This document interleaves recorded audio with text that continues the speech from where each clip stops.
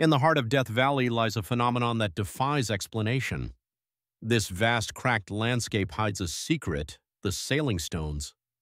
These large rocks, seemingly ordinary, glide across the desert floor, leaving behind long mysterious trails. How can this be?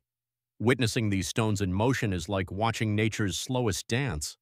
No animals, no humans, just the rocks themselves moving silently across the parched earth. It's a spectacle that has puzzled scientists for decades. Researchers have dedicated their time to uncovering the truth behind this enigma. They've discovered that under the right conditions, thin sheets of ice form beneath these stones. When the wind picks up, it nudges them ever so gently, setting them on their slow journey across the desert. This delicate interplay of ice and wind creates a captivating phenomenon, one that reminds us that some mysteries of our planet unfold at their own pace. In Death Valley,